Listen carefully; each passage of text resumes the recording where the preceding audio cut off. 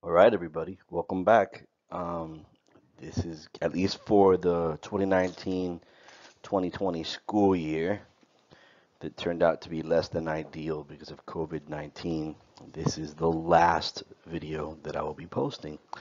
And basically, the conclusion of the class. If you've hung out, if you've hung around this whole time to see how the story ends, um, our A level class from the beginning of the year until now, this is this is how it ends. Next year, I'm going to have to go further into the 90s. All right, so there's a bunch of videos online that talk about this topic, the fall of communism, or if you want to be more specific, the fall of you know that version that was you know initiated by the would become the Soviet Union in 1917 and now extended itself into Eastern Europe, etc., cetera, et cetera. Um, how that ceased to be, how that came to an end uh, between 1917 and, and, and 1991. And, so, yes, absolutely, that's what we're going to focus on. Now, causes. Truth of it, you know, I have to try to get this under an hour, and we have a lot of um, facts to go over. Causes, there's a million videos that go over causes. Were there systemic problems? Yes. Were there structural problems? Yes.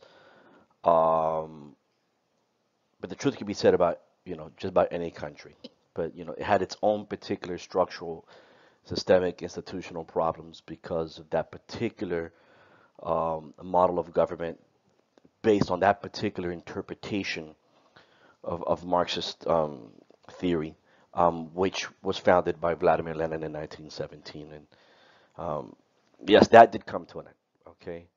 Um, if there's going to be any editorial, editorializing from me, it might be to address some nonsense myths that in our hubris in the 1990s we tried to um, promote um, but this is pretty much just going to be about sequence of events. Sequence of events um, more than actual causes. I mean, causes, we live in class, we could discuss causes. This is more about sequence of events, chronological, historical, historical, what brought about the end of the Soviet Union and uh, the Warsaw Pact slash social, uh, social Eastern Bloc.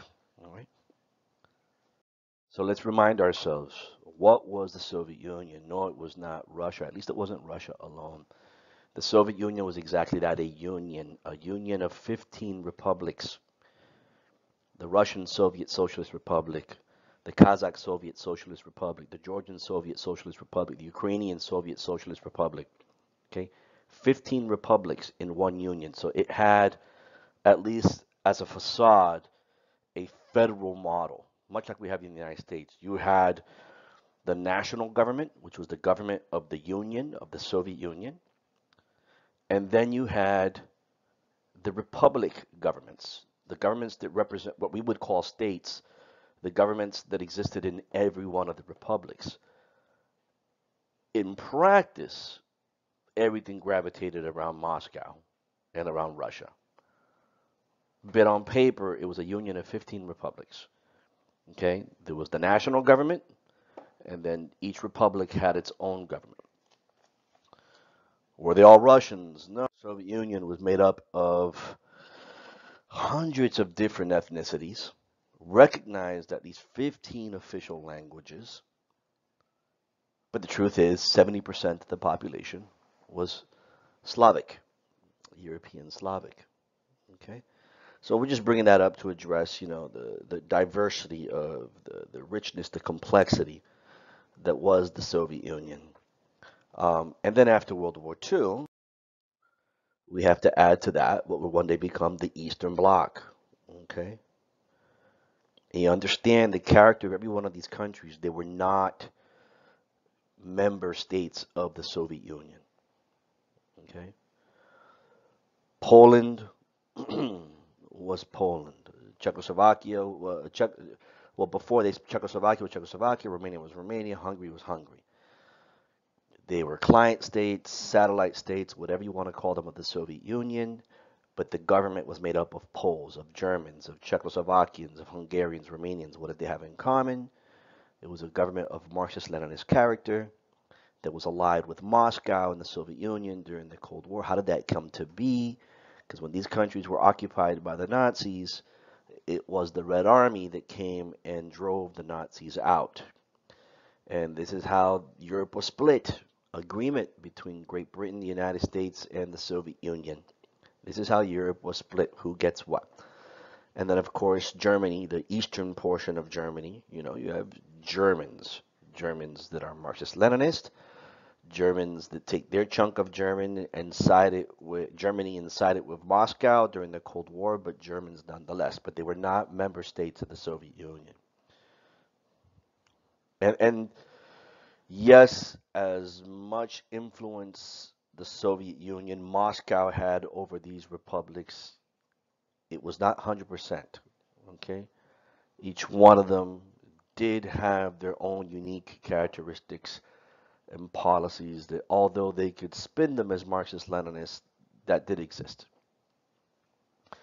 So I'm going to start probably in the oddest of places that I doubt that if you look up uh, a video on this topic, this is where they're going to start. But this is where I'm going to start. We're going to look at where the cracks begin to, and the cracks were long, you know, long established. Okay, when when when that's your metric, when you're looking at you know, uh, quality of life, standard of living as per Western metrics, uh, diet, you know, calories, access to consumer goods. When you're looking at those things, yes, the second world fell behind. Remember, when, when the Soviet Union fell, was the second largest economy in the world. But even that okay, it was not even half the size of the American economy. Okay? And there's lots of reasons, but we're not going to go into the reasons, however tempting it may be. I'm going to start with the appointment of Pope John Paul II as the new Pope October 16th, 1978. And why do I start with him? because after nearly 2,000 years of almost exclusive Italian popes, the Vatican decides to name a Pole. And this Polish pope is not going to see himself as outside and above the fray of politics, but is very much going to involve himself in politics. Very much so in the Cold War politics of his era. If we're looking for the weakest link, let's go where the weakest link is going to be, where the cracks, the most obvious of cracks, are going to begin to emerge. In Poland, despite um, having a Marxist Leninist government since the mid 40s, um, very Catholic population. And the government of Poland acquiesced to an official visit from the Pope a fellow Pole. Understand how powerful this is. Thousands and thousands and thousands of Catholic Poles went to go see Pope John Paul II, a fellow Pole. And using the office of the Vatican, he could get away with saying stuff that neither of them couldn't say. And he basically tells them, don't be afraid. It's a very simple message, but it resonates with incredible consequences after that. And this is June 1979. Doesn't take long. It's interesting how in, in, in, the, in, in these particular systems that are dedicated to the working people, the dictatorship of the proletariat, um, one of the first things, not to fade away completely, they're not Nazis, but labor unions end up transforming themselves into organizations that are no longer labor unions um, by the Western definition of the word. Because if a labor union's purpose is to organize and be antagonistic towards the employer, okay, and antagonize the employer into acquiescing to better pay and better conditions, what happens when the employer is the state and is the only employer? There was a labor union in Poland, but it was an extension of the state. It was not an independent labor union. There's labor unions in every one of these countries, but they're not independent of the state. So how can you navigate on behalf of the workers, but not against the interests of the state? Lech Walesa, I'm going to have trouble with the Polish names, in the Gdansk shipyards, that's one the little bit of coastline that Poland had, organizes an independent labor union of shipyard, shipyard workers. First ever independent of the government labor union in the Eastern Bloc. Um, and what do you do with this guy? Because you can't say that he's bourgeois, that he's pro West, because he's telling you he's pro labor, he's pro worker, but at the same time, he doesn't feel that the state owned and operated labor union is really in the position to argue on behalf of the demands of the workers and, and, they're demanding better pay and better conditions. They're not demanding a change of government. Eventually, it comes to that. When you ask, you know, years later, ask Lech Walesa, was that what you were after? He said, no, that's not what we were after. That's not the intent. At least not in the beginning. Solidarity is the name of this movement, of this independent labor organization. And they emerged just a couple of months after the Pope's, you know, that's why I put the Pope. Just a couple of months after the Pope's visit, you know, this, this independent labor union emerges and, and the government doesn't know what to do with it until eventually um, it decides that it doesn't want to deal with it. It decides that it can say it's pro worker all it wants, but it's a threat to the state. And Poland is put under martial law. Um, by the general, I'm not even going to attempt to pronounce his name. You can see there in the PowerPoint. And martial law lasts for a little bit over two years.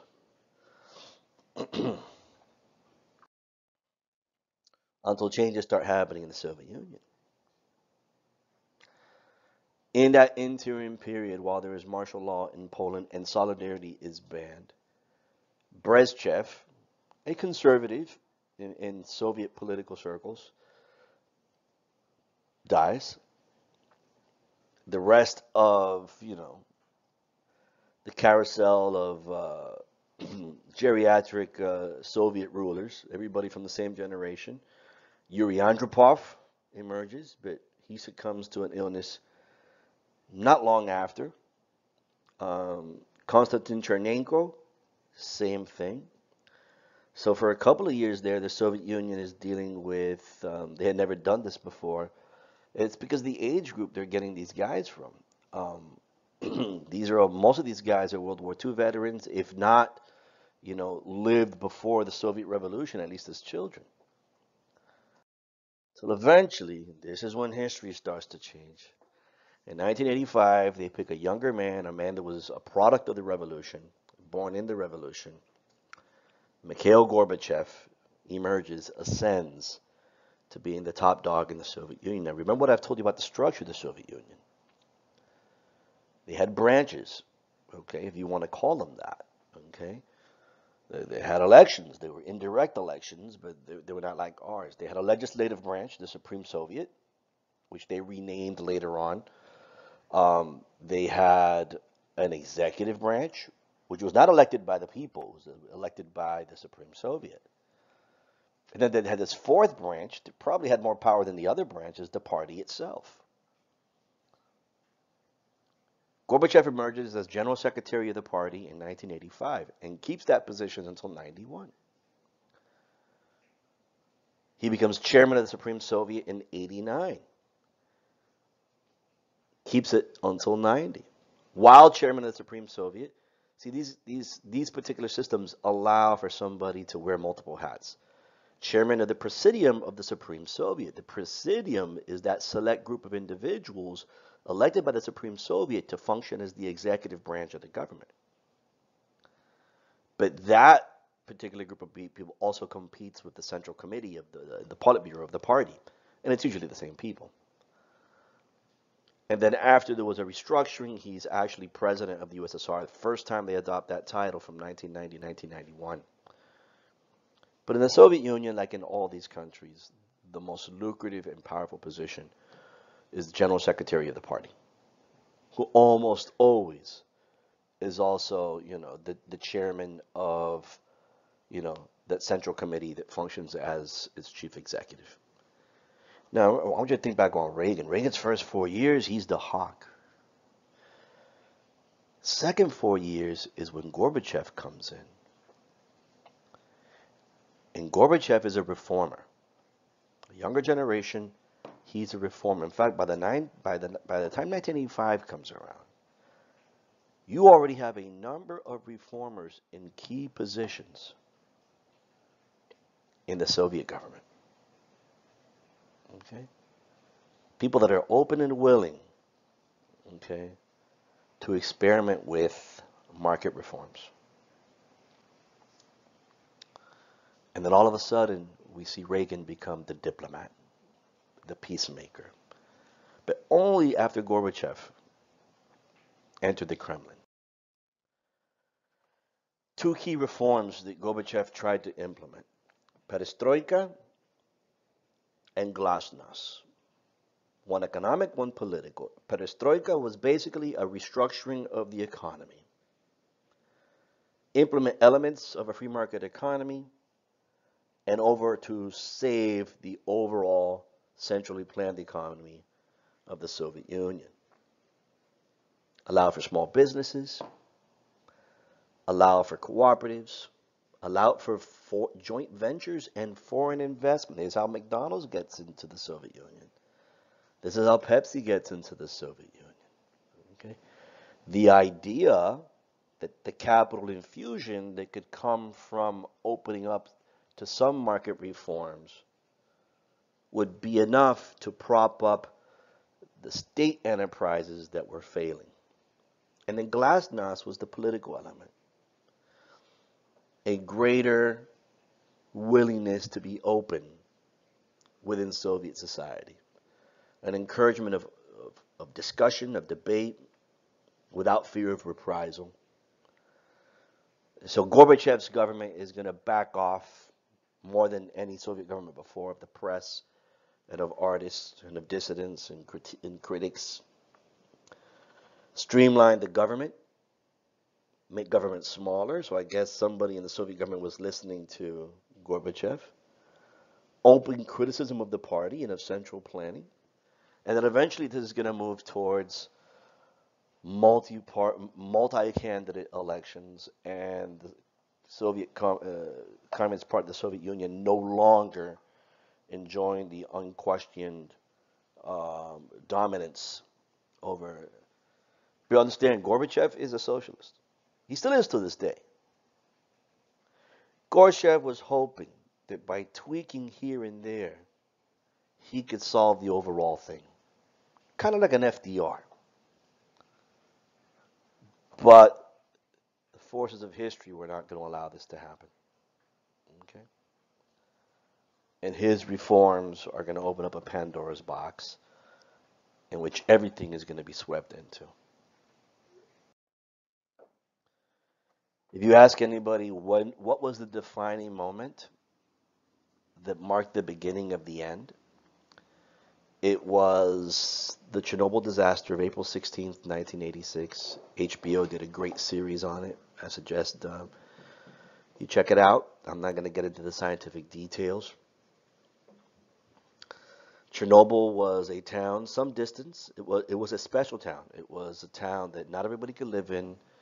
It was created for the sole purpose of providing housing to um, the employees of that nuclear power plant. Um, it was some distance from Kiev. It was in Ukraine. And long story short, um, one of the reactor cores exploded. Meltdown is uh, not quite what happened. It exploded and released a substantial amount of radiation, not just the nearby vicinity, but threatened to sweep that, that, that radiation threatened to go contaminate much of Central Europe. Um, you should watch the series. Um, this highlighted many of the deficiencies and shortages of the Soviet Union. The reason why that plant had that accident was because of the many shortcuts that they had to take because they did not necessarily have access to technology from the West and, and, and superior materials that could have very much, um, and, and, the cost, okay, involved in, in making this plant more secure. And, and many claim this is what this is what started it. This is this is what began that change. Yeah, the Pope, okay, political, um, but they actually showed you know the dire circumstances that the Soviet Union was in economically. What was the? Because remember they were very good at, at hiding just how bad things were. Then comes 1989. Very, very consequential year. George Herbert Walker Bush, former CIA officer, former CIA director, very involved in Bay of Pigs and, and Nixon's White House, and of course he was Reagan's vice president. Um, he becomes president, pretty much riding on the coattails of Ronald Reagan. Um, you know, his presidency is one that I would know as, as a young man and the consequences of them. You know, he is going to be the one that it's going to be in the White House when the Soviet Union and, and the Eastern Bloc collapses. So a lot of people have this myth that it was Reagan. No, it wasn't Reagan. Reagan was gone. And we're gonna, you know, I'm, I'm I wasn't gonna editorial about causes, but if there's any myth that needs to be addressed, it's the Reagan myth to all of this.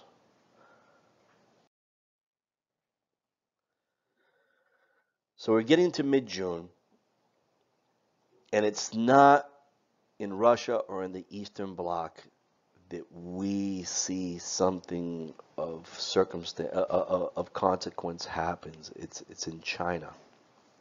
Now remember when Nixon went to China and he visited Mao Zedong, and from that point forward, China, even before, where do you think Gorbachev got the idea from?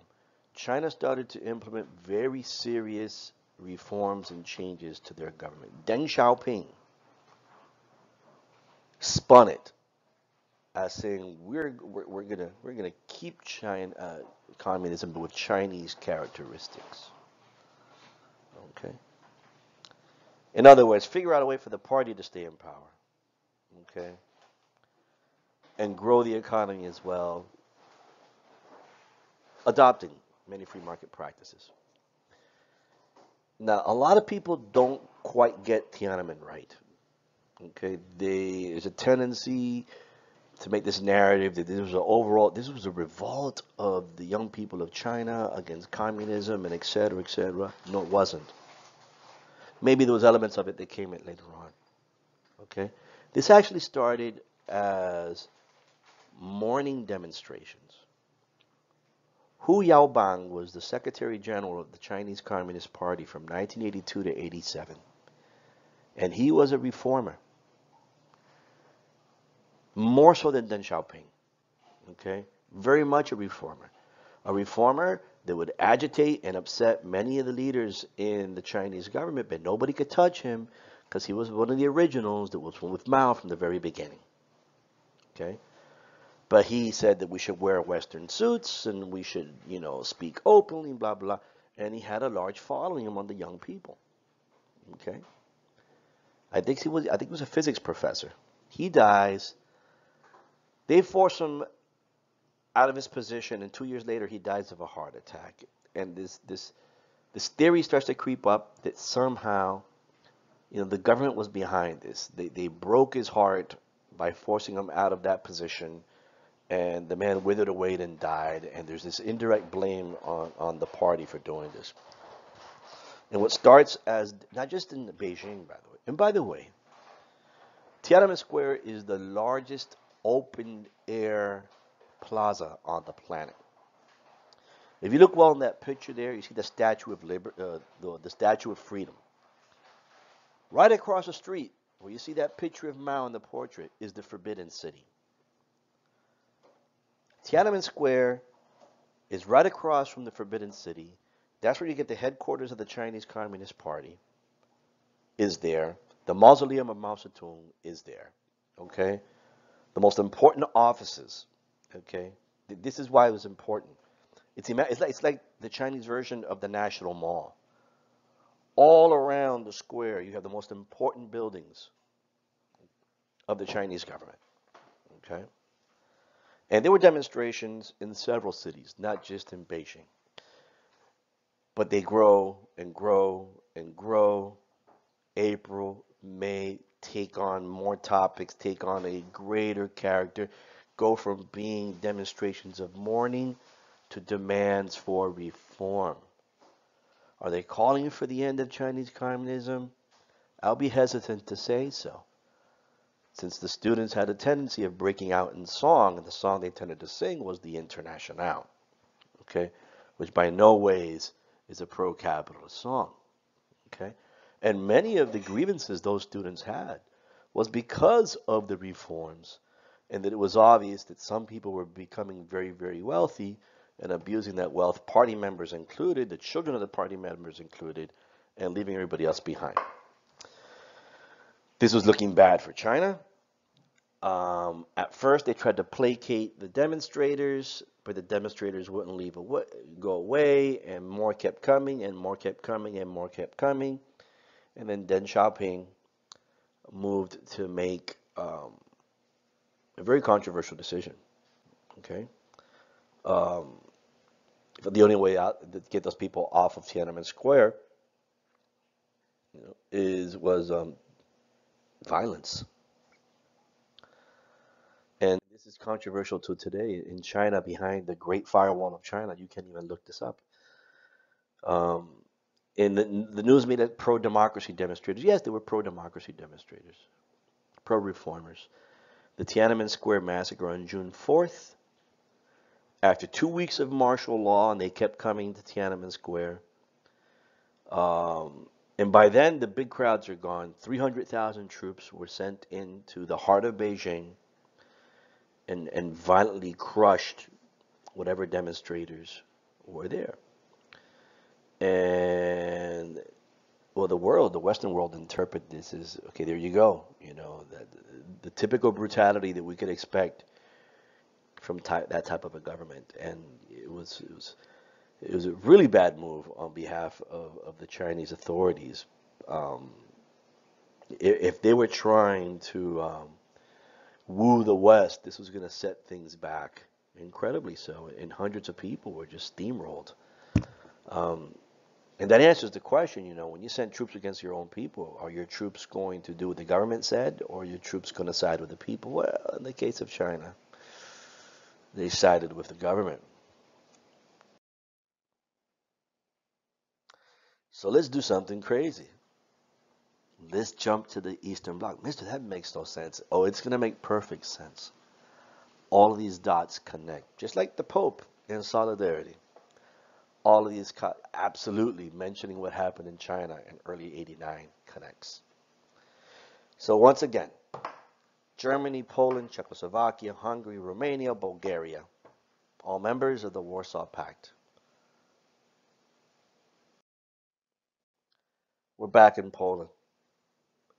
Years after Solidarity was banned, new people in the Polish government decide to lift martial law and decide what the heck, let's negotiate with solidarity. And solidarity comes back up. Okay? This would not have happened without Gorbachev's election. Well, indirect election. He was elected by the Supreme Soviet. That's the way it works there. You didn't, uh, people didn't directly elect the president. People through the various levels of government elect the members of the Supreme Soviet. The Supreme Soviet elects the premiership, and the premiership elects the the chair.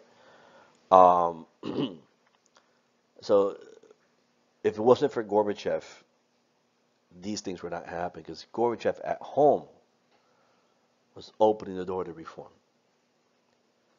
And the Poles said if the Russians are doing it, that means they will not do anything to us like Czechoslovakia and Hungary years earlier.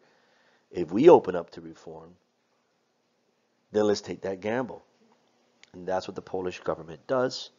not only legit, you know, legalizes solidarity and, and negotiates with them, but they begin talks um, that take place throughout June about relaxing the hold of the Polish Communist Party and allowing free multi-party elections um, by mid-year. Next door, in Hungary, the changes start reverberating. Janos Kadar, longtime uh, president of Hungary, steps down. There's an ongoing economic crisis. What's going on in Poland next door encouraged many Hungarians to do what they had never done before, which was take to the streets and demonstrate against the government asking for reforms. Now, let me say something about Hungary. Not all Marxist Leninist governments performed at the same level. Through no shortage of indexes, if you had to choose in the Eastern Bloc where to live, you were better off living in Eastern Germany and Hungary than the rest of the, of the Eastern Bloc. These were the top performers. Nowhere near the West, of course, but the top economic performers in the Eastern Bloc. Hungary's currency was the only currency that you could actually exchange with Western currencies outside of Hungary. That's how stable their currency was compared to the ruble. You couldn't take it outside of uh, out of Russia, out of the Soviet Union. So now it starts in Poland, spreads to Hungary, and now the Hungarian government enters into talks with reformers, just like it's happening in Poland. Why are they doing it now? and They didn't do it before. Well, look at Gorbachev he seems to be open to reform. If we start to consider reform, chances he's going to come at tanks with us, well, we're going to take our chance. Probably not. Now, understand, travel in these places is very restricted. Okay? If, if you were a citizen of the Soviet Union, okay, travel outside to the west, forget it. That's not going to happen because they know you're going to leave. But you were free to travel inside the Eastern Bloc. You were free to travel to Germany and study in Czechoslovakia. In fact, that applied to the entire socialist world. Cubans, Nicaraguans, Chinese, Vietnamese. You could travel inside allied countries. The Eastern Germans, you know, a, a bunch of Vietnamese went to East Germany to, to work and live. They have a Vietnamese community. Um, so there was travel, and it was very common for Germans to take vacation, Eastern Germans from Democratic Republic of Germany, to take vacations in Hungary. Okay, that was a very common thing. There was a lot of. Um, Hungary decides, the first one, that they're going to remove their border fence between Hungary and Austria. That was a bold move, probably the boldest so far that they're no longer going to patrol the border between Hungary and Austria. If Austria doesn't want Hungarians coming over, let Austria handle it. What happens? Thousands of East Germans, many of them already vacationing, okay, in Hungary, decide to travel to Austria. So you have thousands of East Germans start leaving East Germany, driving through Czechoslovakia into Hungary for the sole purpose of driving. Why are they going to Austria? Because they speak German. If they're going to start a new life, yeah, I'd start it in Austria. And now the Austrians are like, what the heck? Now there's a flow of East Germans coming into Austria because Hungary decided they're not going to patrol their border anymore. And so the GDR has to do something that it never did before with a fellow socialist country. It closed its border with Czechoslovakia in 1989. Think of all the effort Germany has, uh, East Germany has made since the early 60s to stem the flow of people leaving Germany, and now they're just driving in their Trabis. Um, okay, then you're not going to go to Hungary, you're not going to go to Czechoslovakia either, so East Germany closes the border. So now, this is um, this is where the drama is going to play out in the Democratic German in the German Democratic Republic. Okay? The place that the world knows as, you know, where the where the Berlin Wall went up. Okay, um, this is where most of the drama, the, the real beginning of the end, is going to start to play out. And we've talked about the wall, right? How the wall divided Berlin east and west. So I guess it's this opportunity. A lot of people like to like. Uh, so, so Reagan scared the Soviet Union into collapsing. What a bunch of nonsense. The Soviet Union was, was dealing with economic and political issues for years. Okay? I wouldn't, you know, oh, because Reagan went on June 12th and, and gave a speech in, in front of a bunch of um, important people in suits and said, Mr. Gorbachev, tear down this wall. Gorbachev just couldn't help it after that. Nonsense. Nonsense. Now, I, I want you to picture this. You see that picture of Reagan? He's standing behind Brandenburg Gate. That's the, probably the most central location of all of Berlin. On the top of, Valkyrie, uh, uh, uh, of Brandenburg Gate, there's a Valkyrie on a chariot. The back of the Valkyrie is towards Reagan. That means he is facing the western side. He is in West Berlin, where the Reichstag and the Tiergarten is. And behind him is the wall, Brandenburg Gate, and then there's this area with a lot of embassies and what. what a good week before Reagan was there, David Bowie gave a concert there. I would credit David Bowie more than I would Reagan. Because when Reagan went to speak, maybe some people listened on the other side of the wall. And you can see this on Google on Google block on Google Earth. This is like, oh, I don't know, half a block distance. David Bowie deliberately gave a concert right up against the wall for the deliberate purpose that his concert could be heard on the other side of the wall was only about a half a block away. He deliberately gave that concert for both West Berlin, knowing very well that the people behind him, behind the stage, East Berlin, could listen to that concert as well. And if you're interested, there's a song. Bowie lived in Berlin for many years, in West Berlin, and there's a song called "Heroes" that is about the great uh, is about the Berlin Wall. Okay, and he directs it at the guards that are standing there looking over um, as the concert is playing, knowing that there are thousands of East Berliners on the other side of the wall listening to the concert and listening to that song. I would credit Bowie before I would credit Berlin, um, Reagan, because Bowie Bowie brought out tens, if not hundreds of thousands of East Berliners to his concert. Some people give credit to Bruce Springsteen the following year would give a very similar concert to Bowie and draw thousands of people on both sides of the wall. And then, hilarious, David Hasselhoff, former star of Baywatch, but the guy speaks German and sings in German and had like a recording career in Germany. And some people credit him. Okay?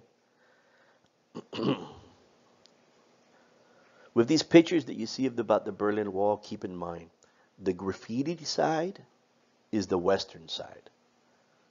Because western West Berliners could go up to the wall and put graffiti. East Berliners can't even touch the wall. So the clean side of the wall was whenever you see these pictures, you always see these pictures with the walls graffitied. Those are West Berliners. Those are West Berliners. They got up on the wall. Those are West Berliners hitting the wall with a mallet, not East Berliners.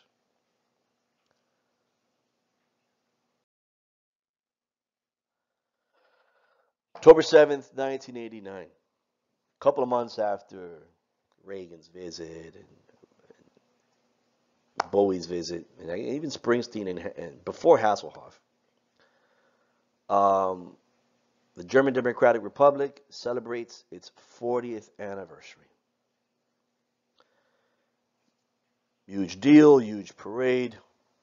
Erich Honecker, the current president of East Germany, um, special guest, Mikhail Gorbachev.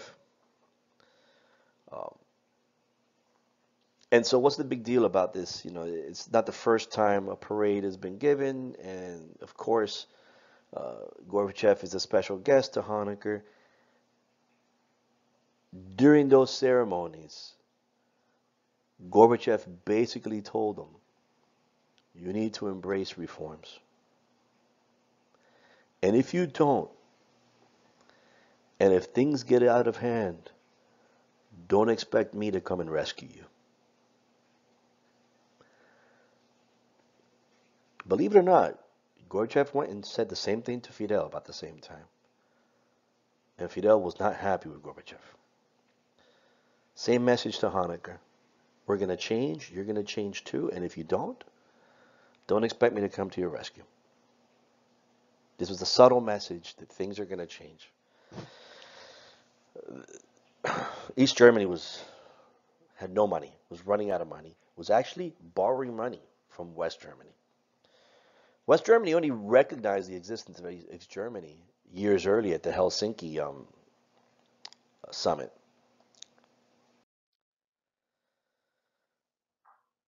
That visit of Gorbachev, knowing that the most powerful man in the second world is a reformer and wants his country not only to embrace reform, but basically the Eastern Bloc to embrace, encourages, emboldens people that also want change. Leipzig, and I've been there. At the time, it was one of the best medical schools, places you could study medicine um, in the Eastern Bloc. Um, city in East Germany. And emboldened by this and by what Gorbachev told Honecker, somehow it got to the public, they began to hold large scale protests. This is different. It's not the 50s and it's not the 60s anymore. This is not Prague. This is not Hungary. Now they feel emboldened enough to do this because they feel they're taking the gamble. That unlike Brezhnev and unlike Khrushchev, Gorbachev is not going to come in with tanks rolling. If there was a time to press your government that you want things to change, it's now. Okay? Leipzig has the the the, the heroic city because that was the first city in all of Eastern Germany that begins to rise up and as you can see demonstrates every Monday for the month of October. They would take to the streets in the hundreds of thousands and demand changes. And you know, did they want to? Did the changes go to the point that they wanted to replace the socialist system to a capitalist one? Maybe some did. Maybe some did. Um, but in the big picture, I would say that's like an exaggeration of their claims. And the Lutheran Church had a lot to do with this. Because the first protests, and when I went there, um, this had been going on for years. They've been, you know, the Stasi was after these people. They would print out these flyers and distribute them, you know, among students and, and dissidents and et cetera, et cetera. So it, it's not a, a surprise that it happened in Leipzig.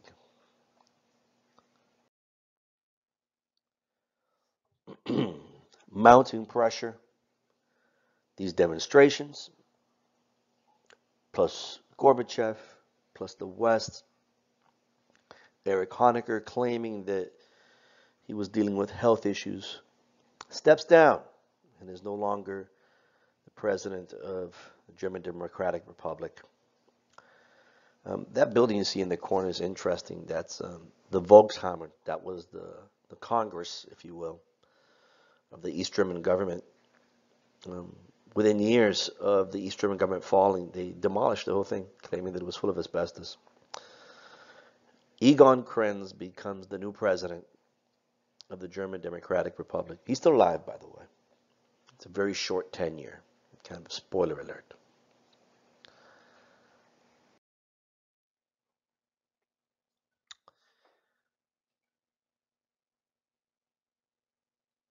Within weeks, of what happened in Leipzig, Leipzig, now Berlin gets it. Okay? Alexanderplatz, eh, what I call it the heart of East Berlin, kind of, sort of. Because when you're in Berlin, you always end up in Alexanderplatz for some reason. Alexanderplatz is where the the German Democratic Republic built a huge telephone, uh, television tower. You always look for the television tower. And then they have that clock. That clock is still there. The- you know, it's like a sundial. Like wherever you are, you know what time in the world it is. The first and largest grassroots demonstration in GDR history. Yeah, they had the riots in 50 something, but nothing like this. A million East Berliners pour into Alexanderplatz to demand democratic reforms. Folks, you could walk from Alexanderplatz to the Volkskammer, the seat of the GDR's government. It's a 15 minute walk max. Okay? It's a 15 minute walk. So, so in the in you know already the heart of Berlin, there's a million demonstrators. Uh, Let me give you perspective. That's like having, yeah, that's like the distance. That's absolutely like the distance between the Lincoln Memorial and the White House. A million people poured there. So the GDR doesn't know what to do. Um, they start sending government officials to the demonstrations. We hear you, we understand, we agree with you, trying to placate the crowd.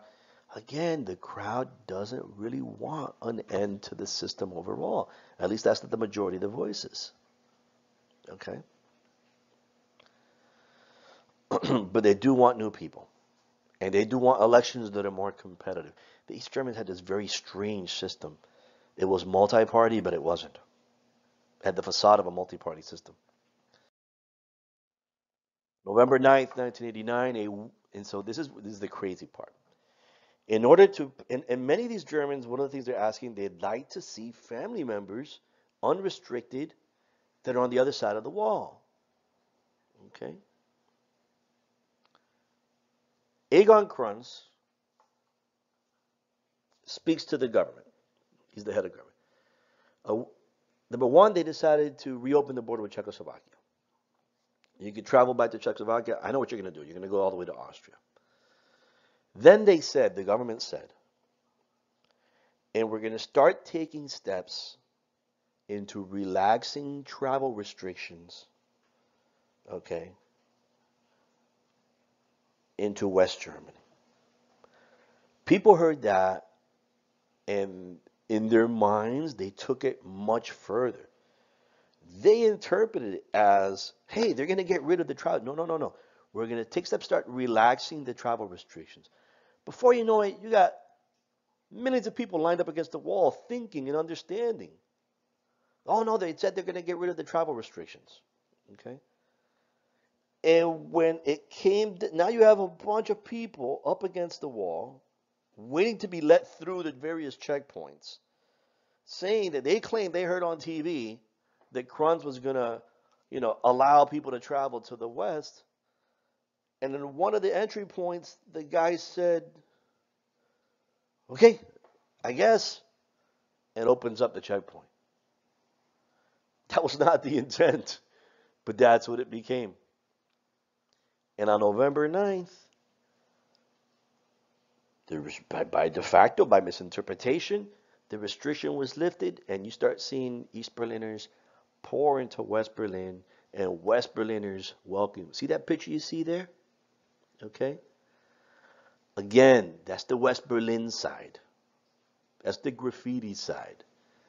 They have the back of the Valkyrie towards us in the picture. The other side of that picture, where the buildings are, that's the east side. That's another picture of West Berlin. Because the Valkyrie is not facing us. From that point forward, um, they started talking.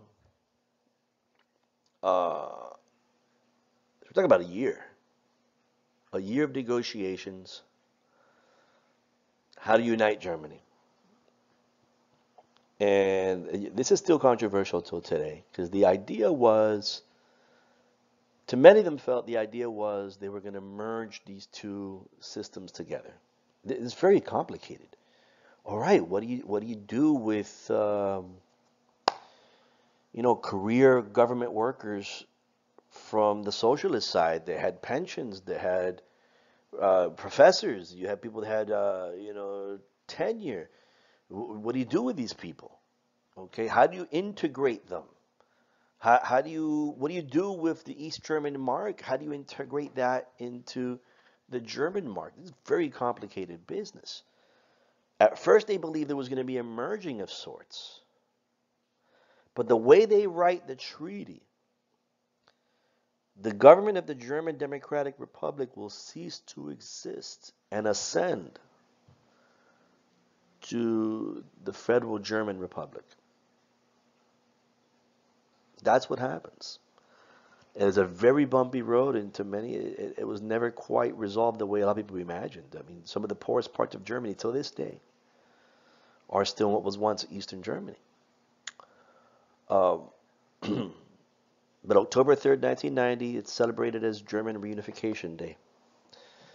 Um, it's not the side, the day that both sides came together. It's the side, it's the, you know, and they really had no money to resist. It's, it's the day that the German Democratic Republic ceased to exist and acquiesced. Um, the West moved its capital to Berlin and then went and arrested Egon Krutzen and several of the top people in the East German government. And they served multi year sentences. They fought them in court. And then went after ex Stasi members. So I'm going to put in the links things that I want you to watch 1990, um, yeah, Germany in October, but already the ball had been rolling. The Baltic states. In 1990, Lithuania held democratic elections. And their newly democratic parliament declared independence from the USSR on the, first, on the 11th of March 1990. This would not be finalized until 1991. And of course, the Soviets were not happy about this. Latvia is going to follow May 4th. Estonia is going to be following May 8th. We go from 15 republics to 12.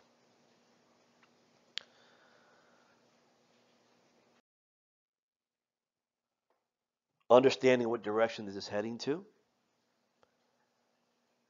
Trying as hard as he can to keep the other 12 together. A referendum is put before the citizens of the Soviet Union. And this was something that was hotly debated in the Central Committee. But a proposition was put before the Soviet people. 80% of the Soviet citizens went to vote, despite the fact that five of the 12 remaining republics actually boycotted this referendum. The question was, do you consider necessary the preservation of the Soviet of so, the, the Union of Soviet Socialist Republics as a renewed federation of equal sovereign republics in which the rights and freedoms of an individual or any ethnicity will be fully guaranteed. And the socialist character, whether you want to keep it or not, was inherent in the question, the union of Soviet socialist republics. 80% of the people said yes, we want to keep it. 80% turnout, 80% of the people said yes. So they had that on paper, but would it be enough? What most Soviets wanted to do was to reform, but not completely trash it and start again.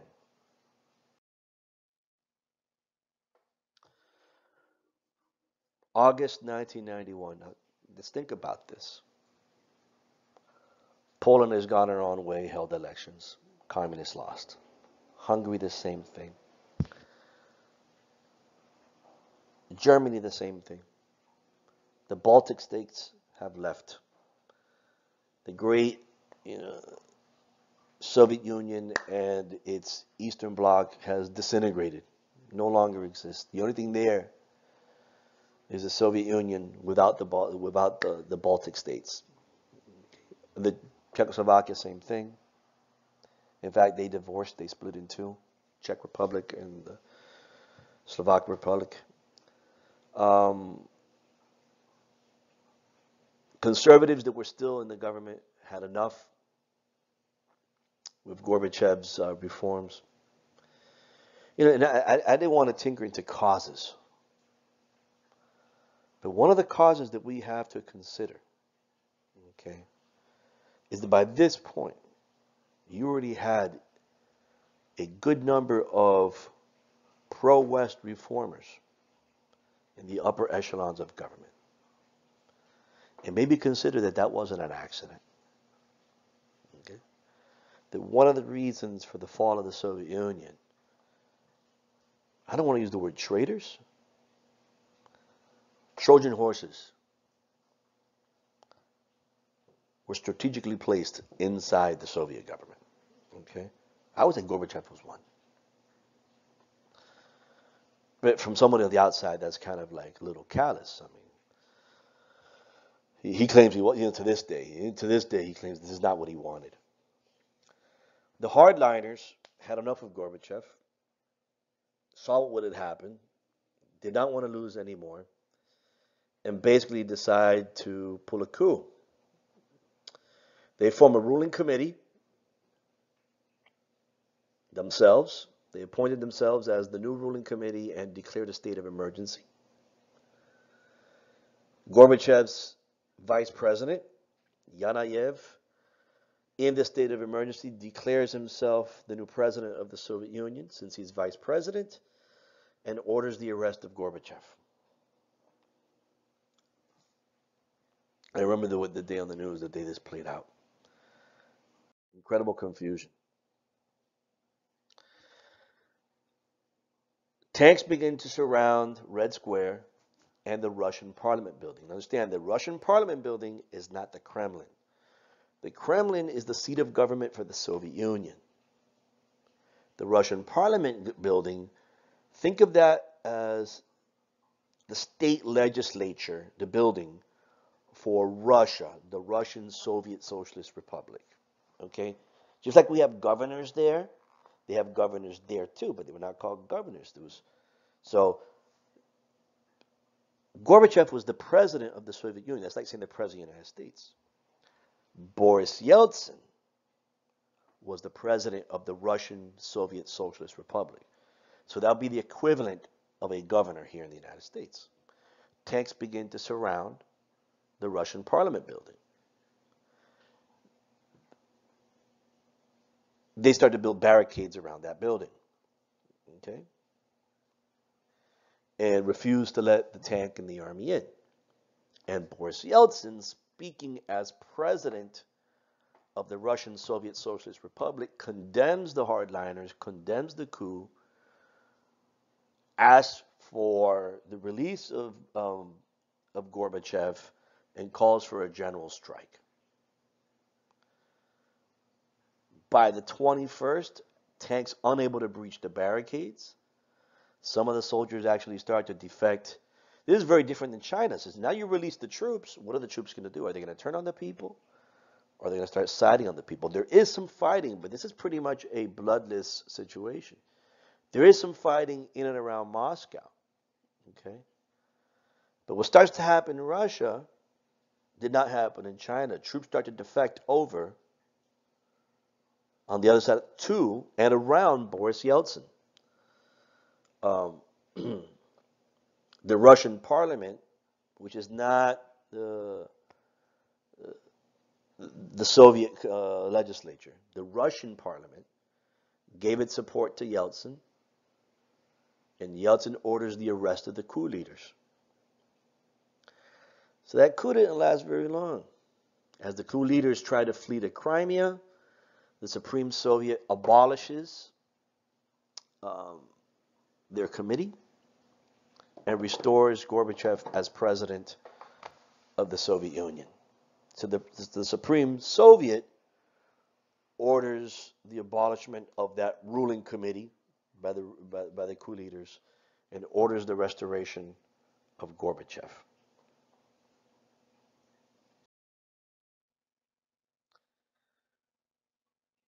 In the couple of weeks between the failed coup and what happens on Christmas Day in 1991 um, are just the last gasps of the once Soviet Union. Um, I, I guess realizing that the situation was unsalvageable, and really buying into the notion that, you know, even more so than here at home, that, you know, if we just embrace free market economics, things are going to be better for everyone. They're not. It's going to be a nightmare. It's going to be a nightmare for the next 10 years for most ordinary um, Russians. Um, but that's editorializing. December 25th, 1991, Gorbachev resigns as president of the Soviet Union and hands over all of his power to Russian President Boris Yeltsin. The following day, the Supreme Soviet recognized the independence of the Soviet of the former Soviet republics and formally dissolves, and in doing so, dissolves the Union of Soviet Socialist Republics.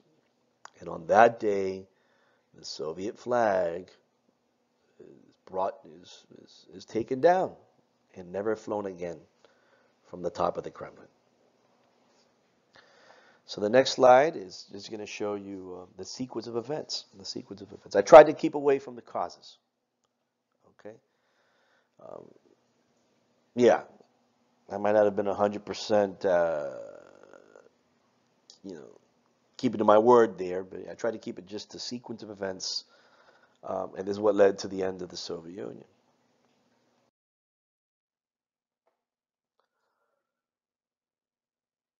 And so here's just um, how it plays out.